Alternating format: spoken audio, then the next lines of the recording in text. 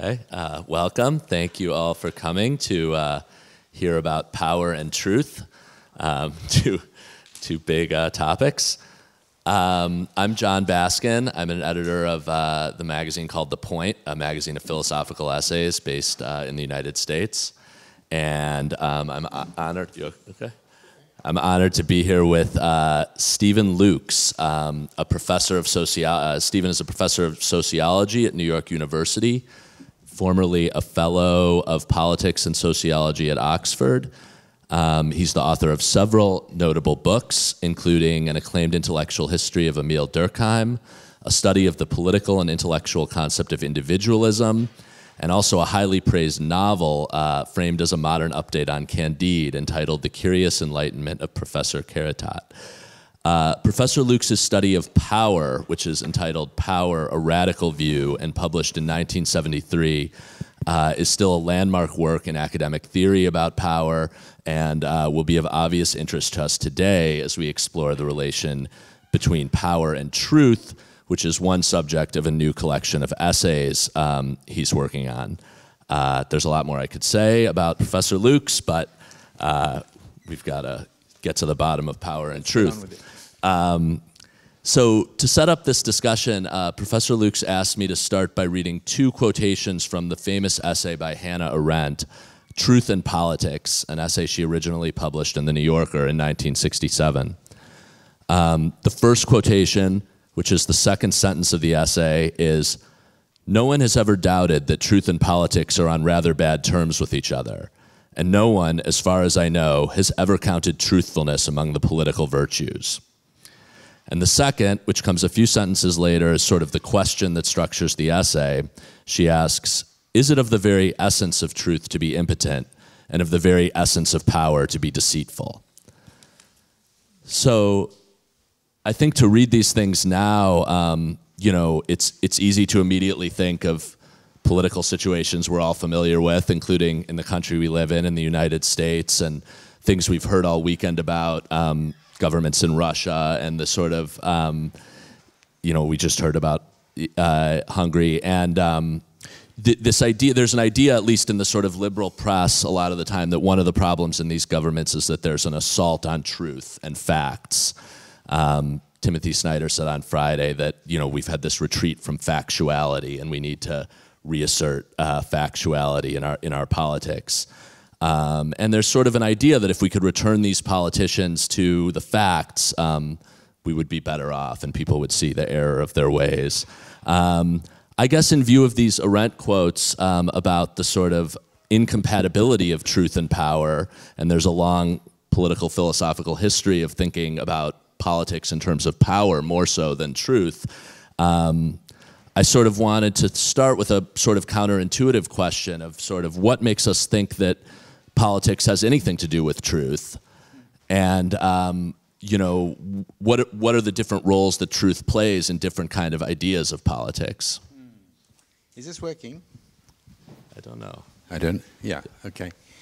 So these are big questions. These are big concepts. I mean, or rather, there are concepts which we could spend a lot of time, but I'm not going to do that being pedantic. What do we mean by power? What do we mean by truth? But just to respond to what you just said, why should politics have anything to do with truth? Well, I mean, I think that uh, let's, let's make a distinction between truth with a small t and big truth with big capital T. So, and, and so big truth would be like metaphysical truths, truths about the human condition, truth about what life is about, truths, truths that are about uh, moral and, and, and religious issues.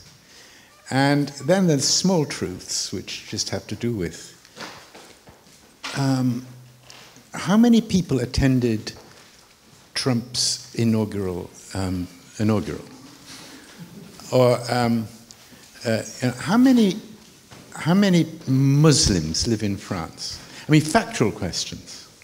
Um, or actually included in the same category, I'd say questions like, uh, is climate change happening? Uh, questions that, are, that scientists argue about. So let's make a distinction between small truths and big truths. Now, if we talk about big truths, politics has certainly had to do with that, with, the, with these big truths. And since we're discussing Hannah Arendt, in part, she certainly was very not in these not in this essay, not with these quotations, not in these quotations, but she was certainly very preoccupied by the idea that politics could be about the imposition of truth with big T upon whole societies. I mean, that's what totalitarianism was. It was the, the successful uh, imposition of big truth. And so there certainly is a history of politics being about that. And I would say liberalism, and certainly liberal democracy, is about ways of organizing political life in which those questions remain open and a matter of controversy and contest between different groups, different people, different kinds of people. So, liberal democracy is about holding big truth questions in abeyance, or rather, having a kind of, I suppose, let's say, impartiality, even neutrality, though that's always problematic, in which the state and political, uh, political life is a matter of not imposing big truth on everybody. But if we're talking about small truths, that's to say, and, and really they're not so small, truths about how the world works, the, the, the, the, uh, the, the product of science and social science as well, then I think politics if, you, if your question is, should politics be concerned with that, my answer is, of course, because if it isn't, it's not going to be effective. Well, but I mean, I guess this is a question of what, what effective politics is, because right. uh, Trump, obviously, in some regard, has been quite effective, and uh, he has yeah. very little regard. I mean, effective in the sense of winning, he, and he has very little right. regard for small truth in this sense, in the sense of facts. And you quote uh, this this new book by Amanda Carpenter, uh, yeah. the author of a new book, a forthcoming book called Gaslighting America. Um, and she says that many who vote for Trump, confronted with evidence of falsehoods he tells, do not see deception, they see commitment to winning. Right. And I guess there's a question I mean, what. There, is, is, is it a valid form of politics to say, I'm not going to let the truth get in the way of winning? I mean, isn't that, from the purely right. political perspective, a reasonable thing to do? Yeah, well, this raises the, the other part of what I, I, I certainly want to say. I mean, it's obviously you're right that Trump and Republicans who are kind of slavishly following him are um, fully engaged in befuddling people, in, in, in telling lies. Actually, I think it's worse than that. It's more what, what we could call bullshitting in the sense it's getting people not, it's not just lying to people, it's getting people to somehow accept. That's what gaslighting means, I suppose. Accept the fact that they're told lots of lies and it kind of doesn't matter.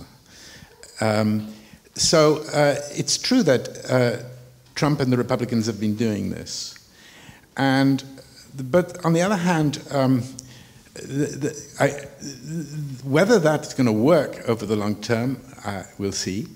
Um, but, but as for politics, I think that um, politics is, is one way of thinking about politics is, is, is to ask what it is, which is what Hannah Arendt is raising here. And one way of thinking about politics is just to see it in a very reductive way as as, as somewhat as like war, in which the only, um, the only issue is to win. And that's the way Trump is clearly operating. And that's the way Republicans are operating right now. That's to say, politics is just a, a game in which, very serious game, in which the, the point is to defeat the enemy, is to defeat the, uh, the other side. So polarization is, is the name of the game. And um, there uh, you can uh, manipulate people, or rather, you can manipulate truths in such a way that doing that is part of what you do. Part, that's part of the game. Um, so, uh, yes, I think uh, if you think that politics is just a matter of winning at all costs, then you can for a time, um, just uh, treat small truths as entirely, uh, you know, up for grabs. And so this is um, you develop in your some of your notes for this chapter this idea of why politics in this respect is different from some other realms uh, that are concerned with truth. For Yeah. instance, yeah, journalism or uh, the judiciary. So what I think is this. I think that, uh, you know, truths, and I call them small truths, of course they're very important, big truths in the sense that, you know, the, the, I, by, by small truths I mean truths about how the world works, empirical truths, factual truths. So I think uh, one way to think about what makes politics different is this way. I think that there are various, let's call them fields, I use that term uh, in, the, in the sense in which Pierre Bourdieu, the sociologist, used it. Fields being areas of life in which people are both cooperating and competing with each other, competing for resources, but also for reputation, in which the search for truth, ways of arriving at truths, are the name of the game. That's what you do. So, in science, for instance, scientists gain success by arriving at theories which other scientists acknowledge to be true, acknowledge, or at least acknowledge to be better than, the, than what existed before. So science is a, a field in which truth is, is what they are, um, or, or, I mean, you could have endless discussions about this, but I'm being trying to simplify. I think science is about tracking truths. Similar, and looking for evidence, I mean, or rather finding theoretical answers to questions where evidence is crucial and has to be well, uh, has to be found and, and, and not faked, not falsified. Similarly with journalism, journalists go in for fact checking. Real journalists who respect one another as journalists if their stories are well backed by evidence. Uh, take the law. Law, similarly, has to be, if it's going to be functioning properly, a, a, an arena of life, a field in which the, the successful prosecutions or successful success in, in, in engaging in the law requires appeal to evidence. So that too is a profession that's fact checking or fact factually based because evidence matters. What I think is this, just briefly, I think politics, politics is not a field like those because, and this goes back to your first question of why, uh, you know, uh, what politics has to do with truth. I think you can think of politics as a field of indeed of competition in which reputations are at at stake, and it's clearly a competition for resources. But the very question of what the game is, is itself a political question. So that if you want to engage in politics, or if you conceive that politics is really just about winning, if, if you take that reductive view, then you can dispense with, or you can, you can deal with the truth question in, in that way. You can say, okay, I'll, I'll just lie, or I'll engage in bullshitting. So you've changed the game to that. It's just winning. And you can treat, which is what the, um, I think the Trump uh, agenda has been, you can treat concerns with science, with uh, uh, truth tracking and so forth, you can treat that as something you, you want to discredit. So, uh, in, in the piece that you read, uh, which, which I like to quote, which is um, by uh, a, a speech by Rush Limbaugh, you know, the radio, radio shock jock, uh, saying, We've got our own reality, they've got theirs.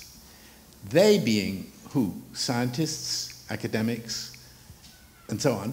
Uh, and we're winning.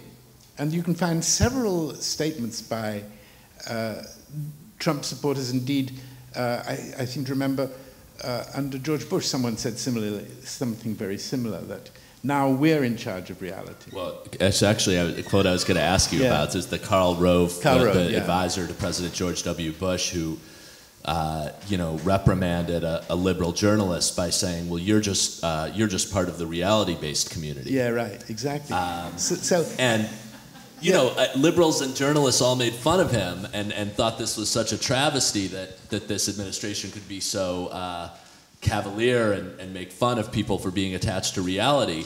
But you know, there's a truth there about what politics are. He was saying, "Look, you, you're you're you're you're dealing with tracking reality. I'm doing something else. We're right. shaping reality. Yes, we're, yes. we're making a new reality." Yeah. So that's what that shows is that politics, if you under if you if you see it in this very wide sense, politics is a, a, a place, the place where you can actually just decide to engage in warfare and and discredit these truth tracking fields or institutions I'm talking about, which is exactly what we've been seeing uh, in America under Trump and elsewhere, where, but especially in America, you can um, discredit whole areas of science.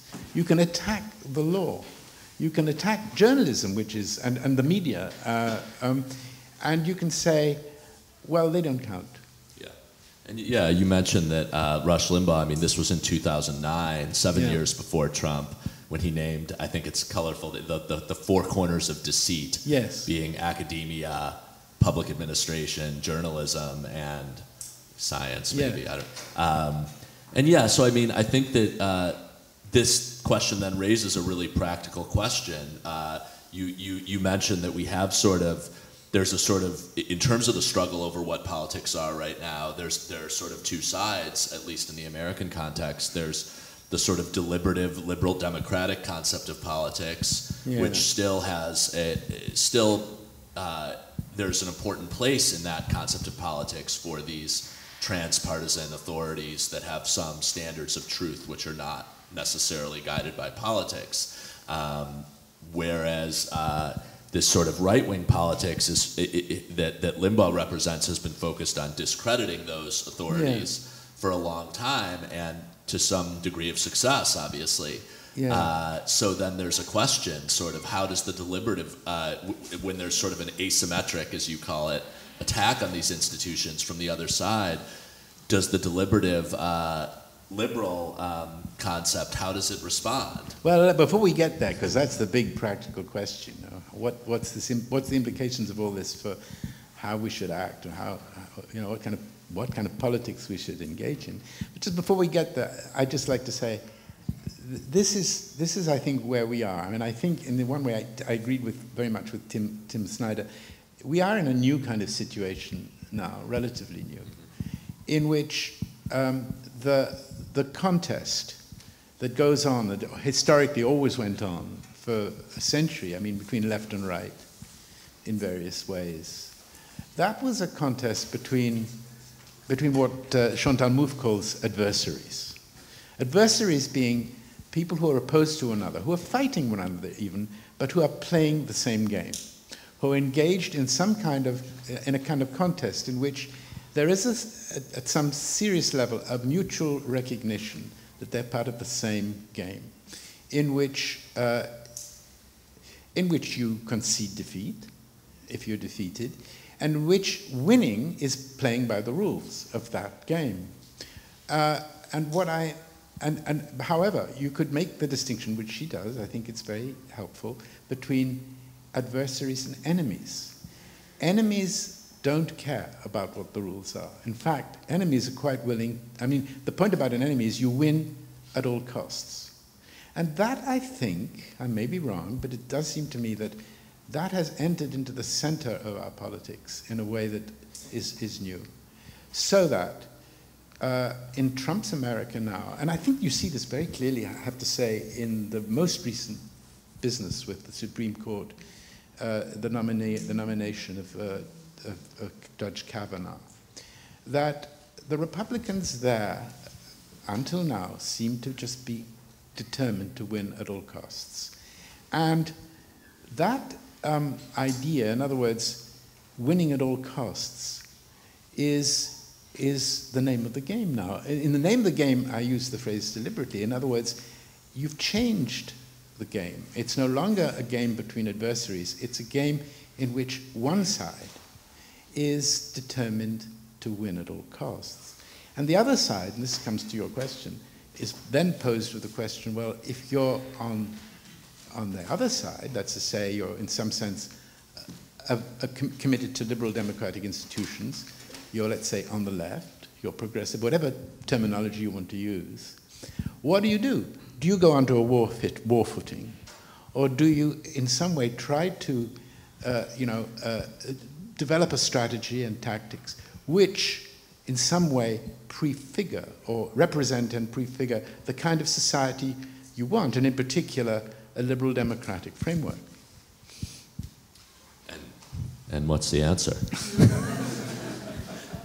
you know, I mean, yeah. I mean, I should say, I think this is like, it's a really concrete issue that, that comes up in so many different contexts. And I mean, we, you were just talking about the Kavanaugh, you know, the Supreme Court yeah. thing. I mean, there's, as a liberal, you know, who's, who watched what, uh, what the Republicans did when President Obama nominated a Supreme Court judge and they just ignored it and refused to vote on him. There's a part of you that thinks, you know, it's tempting to think we should just do anything right. to block that you know whatever rules we have to break, it doesn't matter. Whatever lies we have to tell, you know, abstracting from the case, from the individual case of what what has come up, but you yeah. might just think, look, it's justifiable. They did this, and and you know, there are a lot of people that feel that way. Um, but that would not be a prefigural politics no. necessarily in the way you're talking, you're thinking of. Right. Well, I'd love to know what other people think about this. I mean, I think in the in the end, if you want my, as it were, most reflective or something thought about this. I think that in a way it does in the end depend upon how, at some deep level, how optimistic you are about, about people. I mean, if you really have a dark vision and you think, as I think actually Foucault did, that, you know, um, that, that in the end it is all the matter of, I mean, uh, Foucault even says politics is civil war. That's what we have to think of it as. Another dark such vision, of course, is Carl Schmitt. If you think that in the end it's all about friends and enemies, then I guess the answer is yes, you go on a, on a war footing. Uh, if you're on the left, why not? I mean, what I think is true, by the way, I want to say this just as in parenthesis. Uh, it's not as though I don't think, I mean, I do actually think we are all tribal uh, we've become very tribal. And that's to say, I think that the idea that we uh, are, you know, living in our own uh, cocoons or bubbles or silos or whatever people call them, that's true. But I also think that there's a point to being, I mean, that, if you're on, let's say, on the left, or more importantly, which is what's at issue here, if you believe in liberal democracy as the best kind of uh, framework within which to conduct politics. If you think that, as I do, I've never used the word liberal in my life, I don't think, as a term of abuse. Um, if that's your position, then to succumb to this view of politics, to engage in um, a win at all costs strategy, is entirely self defeating. Do you. Uh do you have a view of why you think there has been this shift in the, in the last, I mean, going back to 2009 or a bit before that, what, what has sort of, just as an, an, an analytical matter, like what, what has changed or has things changed in American politics or in the politics of some, some parts of Europe as well that have sort of um, thrown the game of politics into de- debate in the way that it seems to be? It's not something I remember you no. know, from my childhood in the in the '90s, there was this sense that we'd reached a kind of consensus. Well, to remind you, was. to remind you, at the end of the '90s, there was this book by um, uh, Fukuyama, The End of History. Somehow, liberal democracy had triumphed, and um, that, and maybe just short, you know, kind of short-term vision or something, but. Just if you think back to then, there has, there has been a kind of tectonic shift, I think. Uh, certainly, living in America, it's very clear to me um, the question of why, how to explain it, I mean, this is such a huge set of questions. I have no particular answer to give except maybe to think about the, what, what some people call the exhaustion, the exhaustion of the left, to the left uh, social democratic um, project, which obviously has a lot to do with the end of communism as the, as the alternative left project, which de- was defeated by history and which then left the social democratic uh, project, let's call it, which, which of course, in a way, exhausted itself by, being, by its own success, in some ways, you could say. Um, but the whole, um, you know, what explains it is such a large set of questions. But what I do think, which is really getting to the central point you just made, I think politics has become asymmetrical in this way that, that until, let's say, 10 years ago, it was really about left and right in various forms, though left right is a European distinction. Something like that also existed in the States too.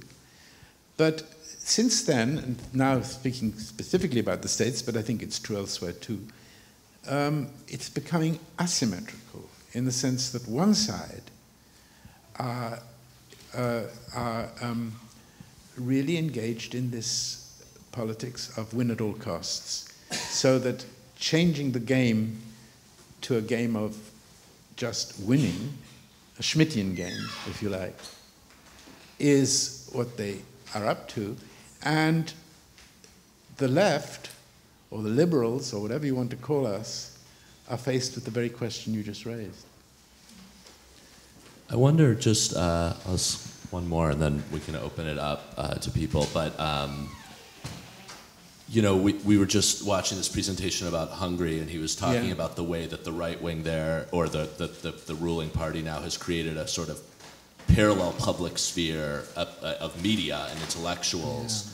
Um, and clearly something similar uh, has happened in America over the last 20 years with, with Fox News and in one end, but even on the intellectual level too, that there are publications now that sort of, uh, you know, where there are just clear partisan publications on the right.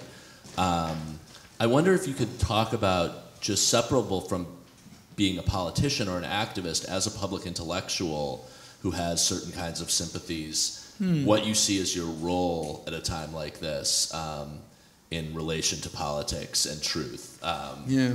Well, I mean, uh, about my role, but I do think one implication of what I uh, believe is that these fields that I talk about, science and journalism and the law, and indeed public administration, these are in desperate need, I think, in America, of defense, of, of defense and self defense.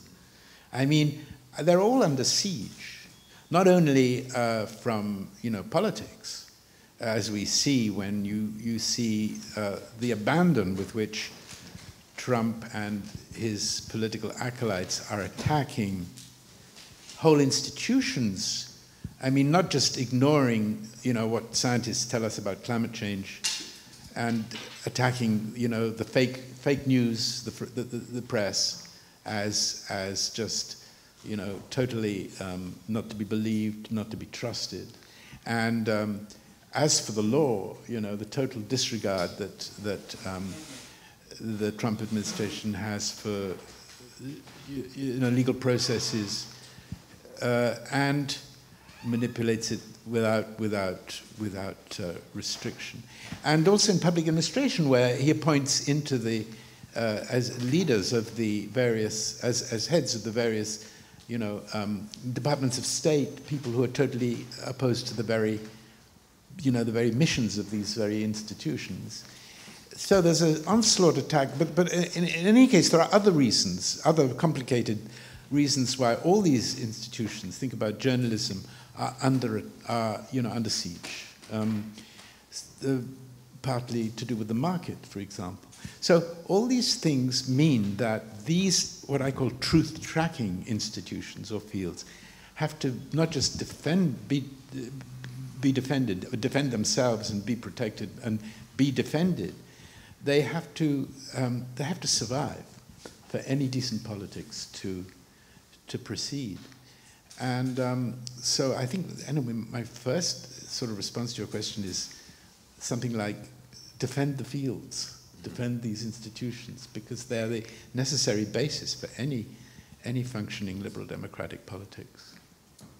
Yeah, I guess I mean I think one of the one of the implications of the kind of political situation we're in, where there's this notion of politics as war, uh, it spreads outward yeah. into those fields. It does sometimes, yes. and not only because uh, they're being corrupted from the right, but there's a pressure on you, you know, as a journalist or as a uh, yeah. public intellectual to become more activist in response. And you know, I want, I'd wonder if you feel that's that's something I feel sometimes. This sense of or the question of how you respond to that. Um, right.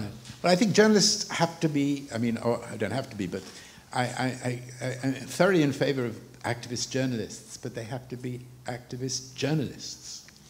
And you mentioned Fox News before. One way of summarizing, summarizing part of what I'm saying, anyway, is to say they aren't journalists.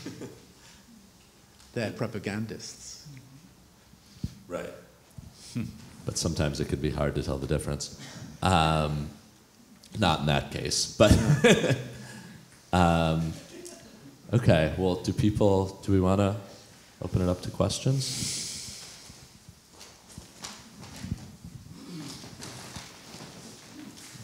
Thank you. In uh, trying to come to terms with this dark the, with this darkness that is kind of casting a shadow over Europe and the United States, it's occurred to me that perhaps this is the default, the narrative, the main narrative after all, and that our surprise is that we've been living in kind of a pretend world. Sorry, the what?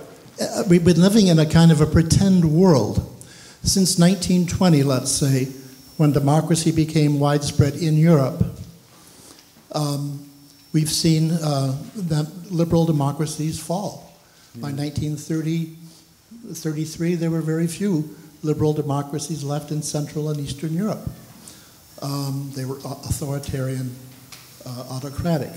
Mm-hmm. And so I'm thinking that um, it's perhaps the American the American, the space that America has taken up with its Commonwealth or empire, that's created a kind of a false surge of acceptance of its values, but now it's, re- it's receding back to its norm, which is tribal, authoritarian, yes, nationalistic. That, that is indeed a dark, a dark thought. I mean, in other words, your idea is that we had a kind of respite, the 30 glorious years or something of a period when we suffered the illusion that somehow liberal democracy had a future, but that now we're reverting to.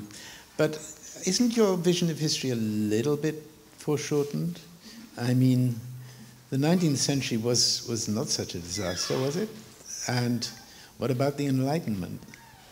I mean, do we have to just somehow think that the, the fascist years were, were, the, histo- were the historic norm?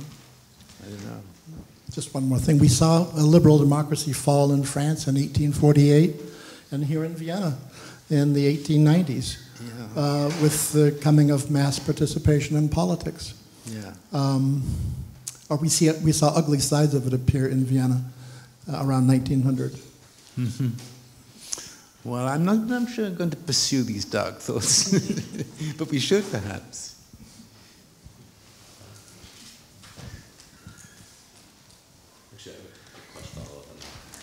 Yeah, yeah.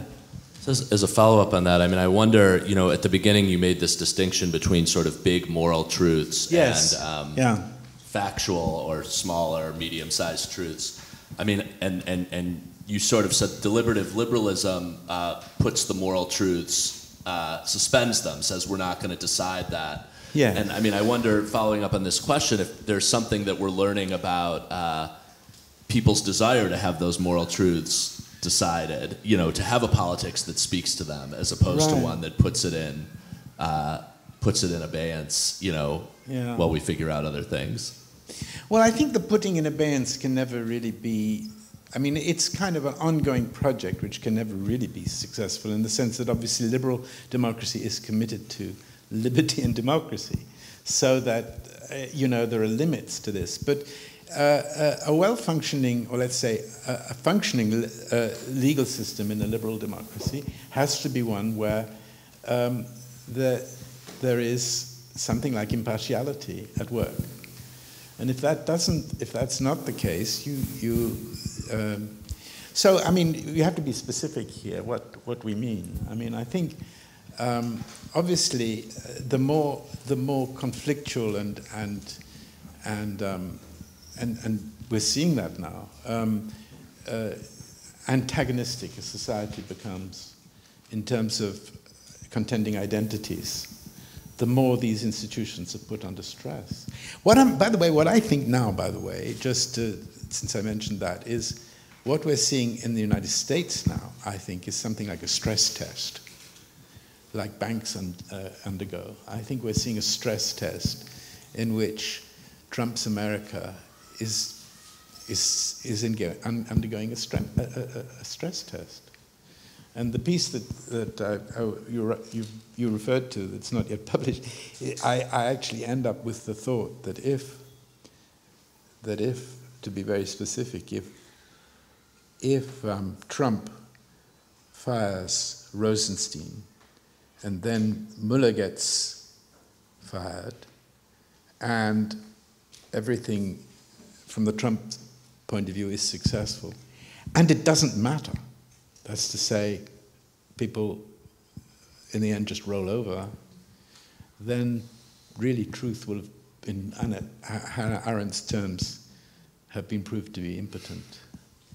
Sorry to be so dark, but that's what I think. Did you have a question? Yeah. Uh, thank you. I'm, I'm, David. I'm a graduate of sociocultural and anthropology here. Uh-huh. Um, uh, you reminded me, um, well, you spoke of Hannah Arendt, and uh, we started actually with uh, a quotation from her. Yes. she was a, a, woman who um, also suffered quite significantly in her life yeah. from. Um, uh, a political context in which a, a, kind of new masculine cult arose. Now, both the Trump campaign and um, many others of the hard right recently have featured a kind of masculinity which, uh, which mm -hmm. claims to, to address some grievances uh, which, which there, there ought to be in their view. Uh, what I wonder is, since women participate just as much as men, clearly in producing reality and bringing things about, mm -hmm. um, uh, my question would be: Is it true that this um, masculine campaign is really addressing uh, grievances of masculinity? Is there perhaps something to it, or uh, do we do we have to do with uh, is this a smokescreen? Is this perhaps their own illusion? Um, well, that would be the question. Mm. I can see several questions there. I'm not exactly sure what your question is. Um, I mean, I think that, uh, I mean, we certainly have seen, I mean, you just have to look at the, at the, uh, television um, pre presentation of the, you know, the Kavanaugh story, the, the, the that whole story of the uh, of Dr. Ford and the attempt to, um, you know, uh, give her so-called supposedly give her a platform and then basically crush her. That was masculinity plainly and fully visible at work. Um, so, but your idea is what that you're, you're interpreting the the Trump phenomenon, particularly, as masculine domination. Is that it? No, it was rather whether whether indeed the, the it is their right that in a sense uh, masculinity is is ah. grieved, or uh, whether taking into account the important women in the importance of women in, in any social ah, context, ah, yeah. whether this is not uh, really hiding uh, much more than it tells about them, their, their, their obsession with masculinity. Yeah. Well, I do think, I don't know how, how far to go down this road, but I do actually think that the Me Too movement in America and its various other exemplifications in other places which are happening and which I know too little about is something new. And that the rise of women's voices or the, the, the, way in which they're now beginning to really have an impact, we'll have to see to what extent, will, will, will show whether you're right. I think something new is really interesting and important is happening there. Yeah, I do think that.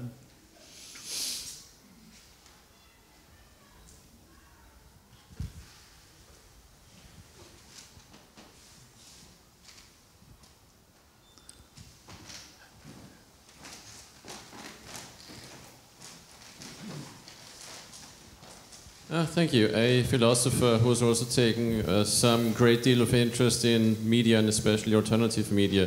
Yeah. Uh, you mentioned that media or the press as an institution needs to be protected. Unfortunately, there's also such a thing as mainstream media, right. which provide lots of propaganda. And I'm not only talking about Fox News, but also about the so-called liberal or more democratic leaning media, such as I don't know CNN, MSNBC.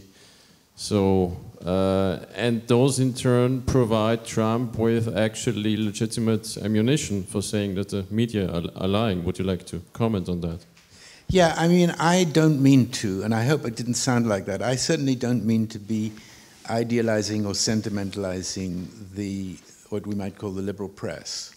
I think actually, in many ways, you could say that they uh, gave all the oxygen and all the attention uh, to if we're talking about Trump, as I was, uh, to, to the Trump success. I think they played a very large role in, in that. So, I, I, and, and you say you're interested in the alternative media. So I think that that's where a great deal of the action is, of course, now. Um, and that's part of the problem about what I have in mind about protecting the norms uh, that, that, you know, uh, can in some way protect the tracking of truth. That, in a way, with the rise of so-called citizen journalism and and the alternative media everywhere, this becomes all, all, the more problematical. But the idea, in other words, the idea that, that I, I'm, I'm trying to stress is that really the idea that anything goes, that you know it doesn't matter what's true or not. That's that's what's involved in this in this um, in in this project of of of creating your own reality, that you, you, can, you can make the, the, the question of what is true and what, what, what evidence is, you can, you, can confuse, you can confuse the situation so much that people don't care anymore. And in a way, I, suppose that might, might have been what Tim Snyder was talking about. The, the, the protection of factuality is, in part, has to be the protection of the the, the norms and the institutions that are engaged in seeking evidence and, and, and verifying uh, you know, stories.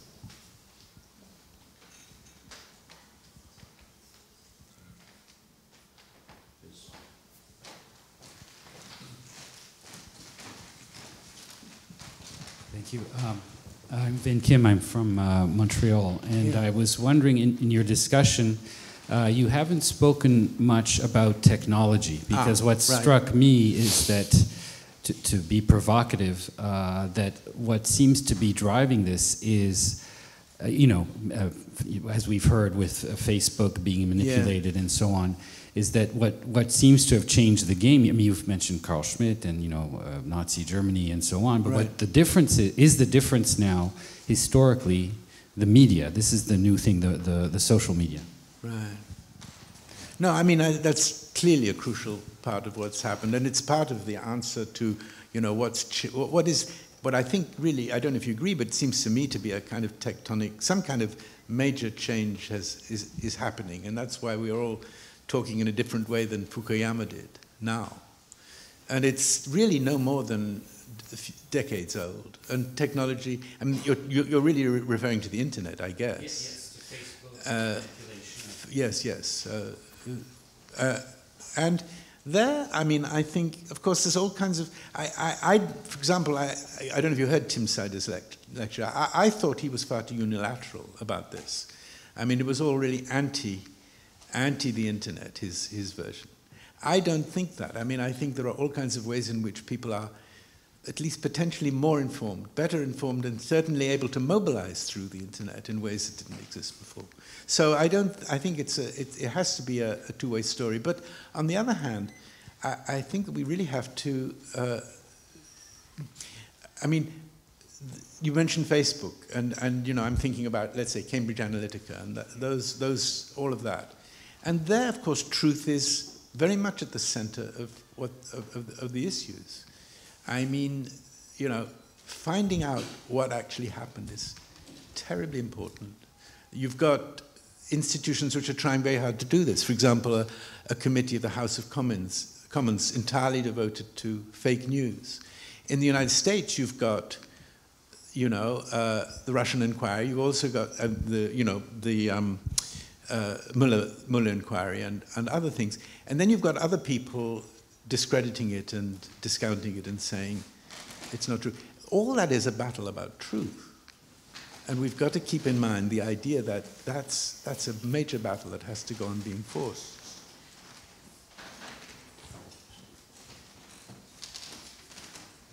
Do I have a hand from who that was? Back.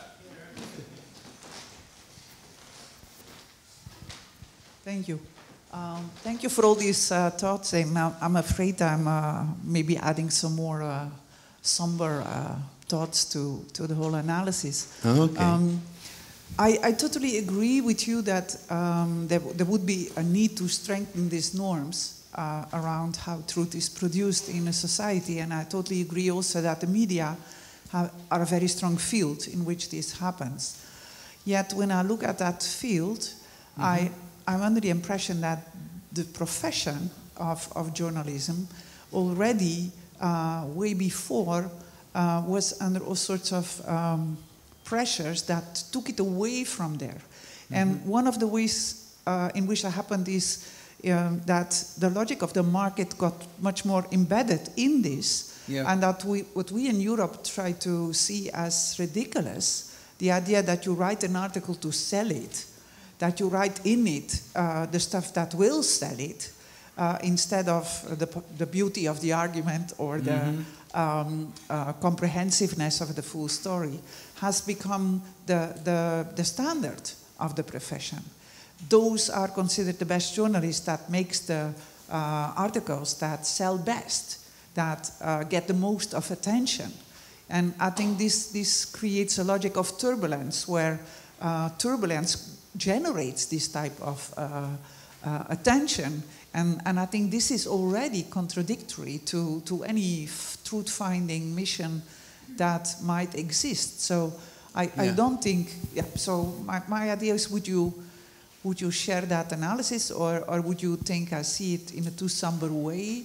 Um, that's, that's the question. I think you're completely right. And, um, you know, a, a, fuller, a fuller discussion of all this would have had to say what you so well uh, put so well that, that, that all these fields, uh, science too, actually, uh, certainly the law, you could say that what I've offered is a kind of idealized account of how they, how they are if they function as they should, if they function well.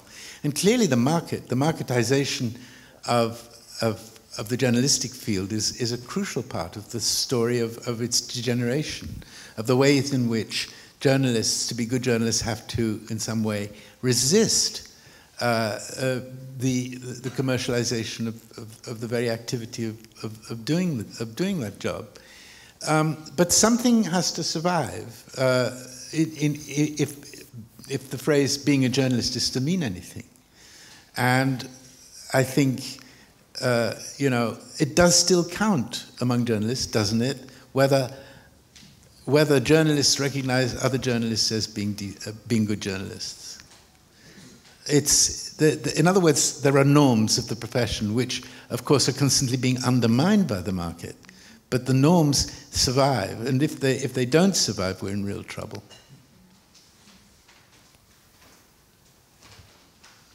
Yeah.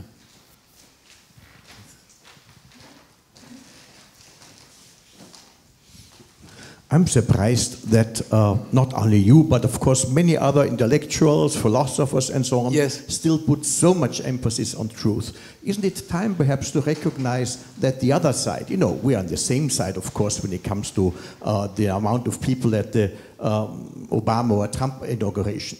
But, you know, the Trump side, you know, the Trump side, uh, Trump journalists, hol- uh, Holocaust deniers, creationists, Pizzagate advocates, uh, Yes. climate deniers, and so on, they uh, know the argumentation technique almost as well as our side does. Yes.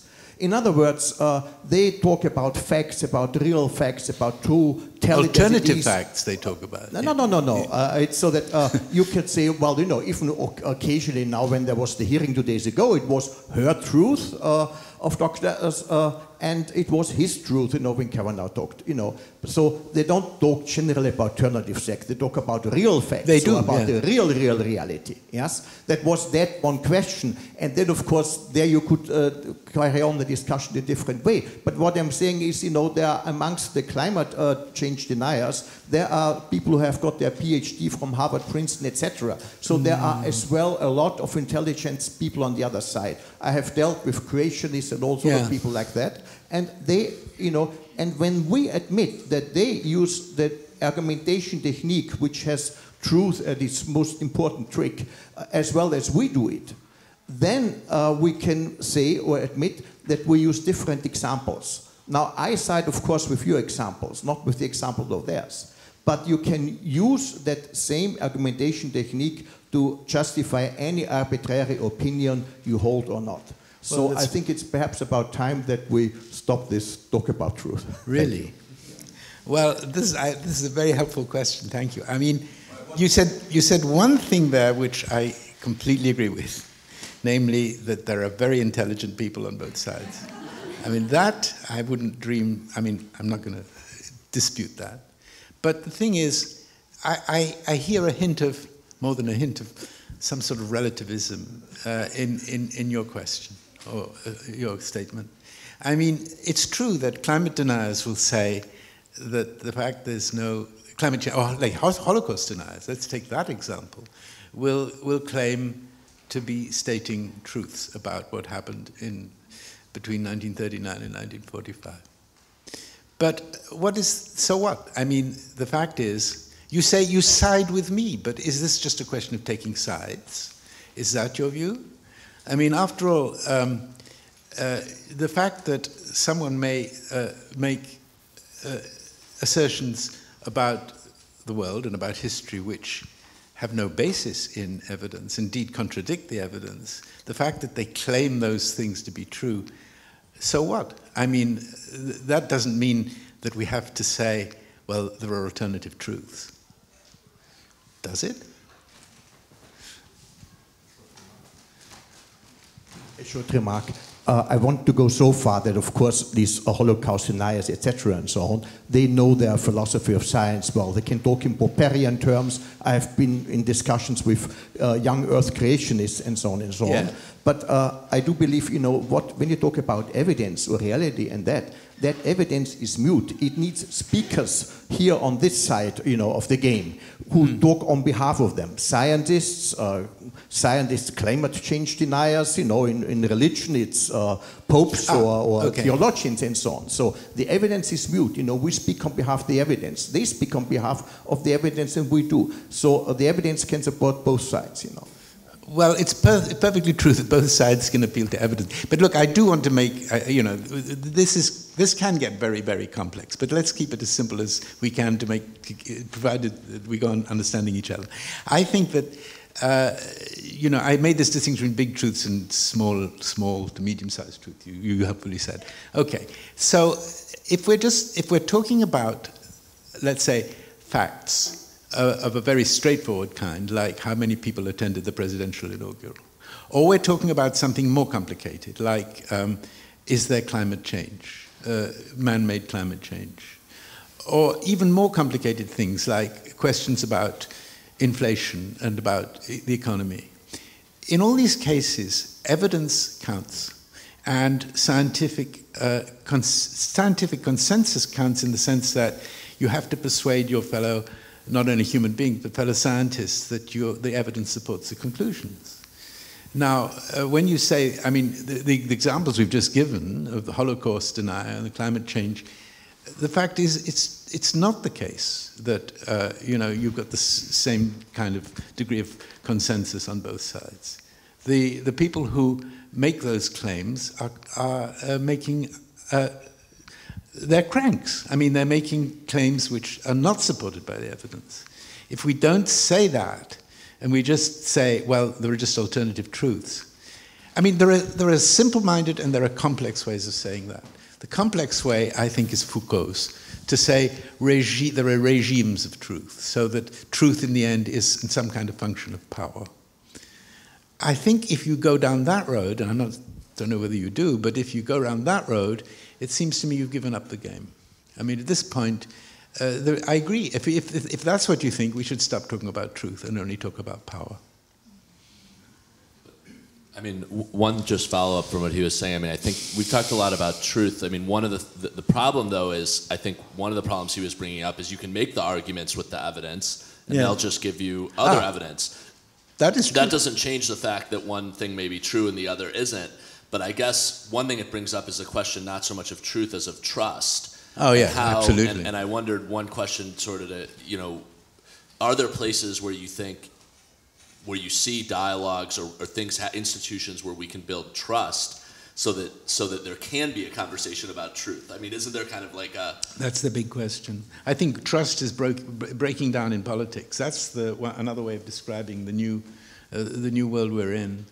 Uh, I mean, it's true just empirically. I mean, if you look at, uh, insofar as what they're worth, if you look at, um, uh, you know, public opinion polling and all that, it's true that the level of trust in politics has been massively in decline.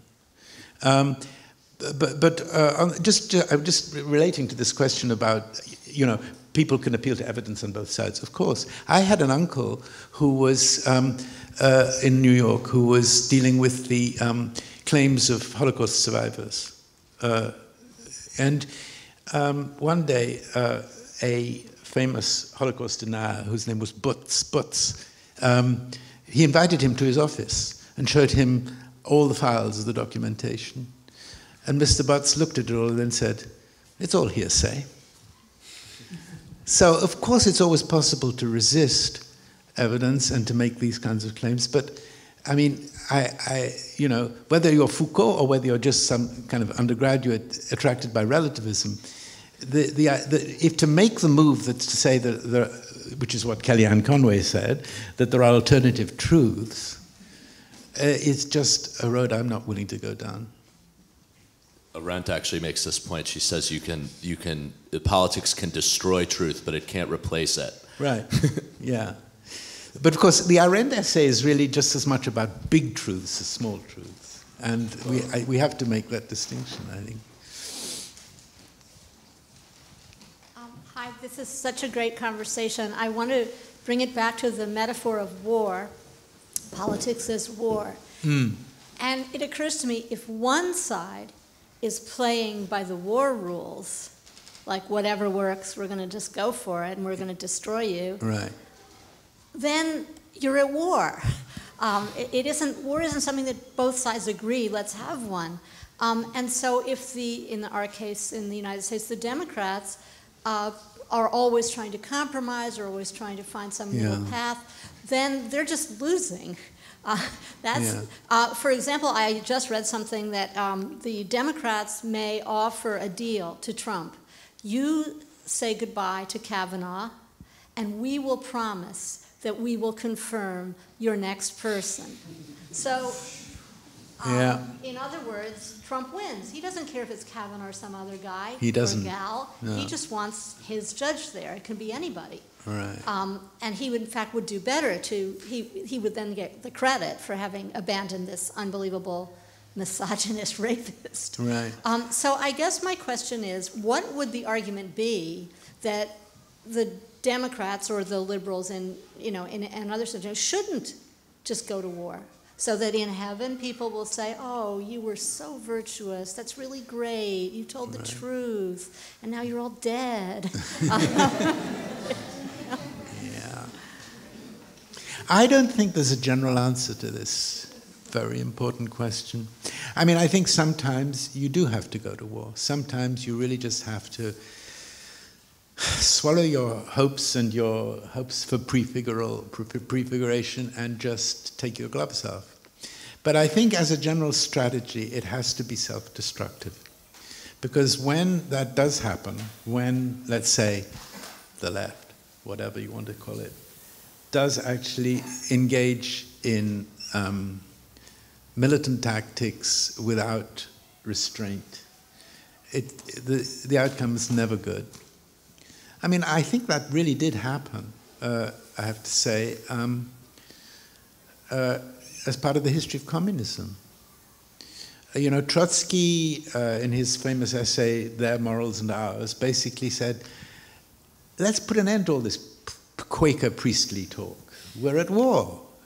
All this liberal stuff is for, you know, people engaged in, in, in the kind of politics where, you know, you're in a kind of safe harbor. But we're at war. And I think that, um, you know, what you just said there is right. Uh, maybe at a, at a certain moment, you ha- which is what I think, by the way, Michael Moore is arguing right now. Take the gloves off. Well, that, that's a tactical question. And maybe, and, and maybe this Kavanaugh case is an example of it. Maybe that was a really bad deal that the Democrats made. It probably was. But then, in that particular case, you have to think, well, maybe, you know, if you hold out on Kavanaugh long enough and the Democrats take the Senate, maybe we'll able, be able to win without sacrificing too much. Um, I, in other words, I don't think there's a general answer to this. But I think as a strategy rather than tactics, taking the gloves off has to be a bad idea. One more? Or last one? Mm. Okay, I want to come back uh, last time to this question or this distinction between uh, the drive to win the game and the commitment to the game and its rules. Because um, on the left side, you could have the comfortable position to say, well, we are losing, but at least we are playing by the rules. At least we are the good guys, whereas the other side is yeah. abandoning the rules. And on the right side, many are celebrating, but some certainly think, well, this is awful. We are winning, our side is winning, but we have abandoned the game and we have abandoned truth, which is mm -hmm. also difficult. So I imagine yeah. on both sides there's this tension between how to deal with this situation. Um, maybe you have some thoughts about or observations how that's dealt with on both sides. Mm -hmm. I think you put it very well. I didn't hear every word you said, by the way, but I, I, think you put that very well. But I think that obviously, in any real political movement with political leaders and, and, and people involved, you're going to have this very debate going on. And you've got it right now, for example, in America among Democrats. There are Democrat politicians who are really um, quite, you know, very uh, ruthless, um, have very ruthless temperaments and want to go all out. There are other people who you know, a, a much more, how, how, should we say, moralistic or believing in the importance of prefigural uh, tactics. I actually think, you know, as I said just now, I, I don't think we can generalize, just be really aware of the problem uh, and, and not be inclined. I mean, okay, one of the things I really object to in the sort of Foucault Carl Schmitt vision is the idea, it's a sort of reductivist idea that you know, we can, that, that, all, that what really counts is winning. I think what counts is, is restoring, which is I think where we are right now, restoring the rules of the liberal democratic game. There is, though, you know, the, the, the it, you can tell from the way you set it up, there's a psychological uh, incentive to just say, well, there are you you, re, you remove the tension if you just say the rules don't really exist anyway. Right. that there, there's an easiness to saying that. Mm. Um, so, any last thoughts? Uh, many, but too many to uh, to summarize. okay. Well, thank you all for coming, and uh, hopefully we can continue the discussion among ourselves.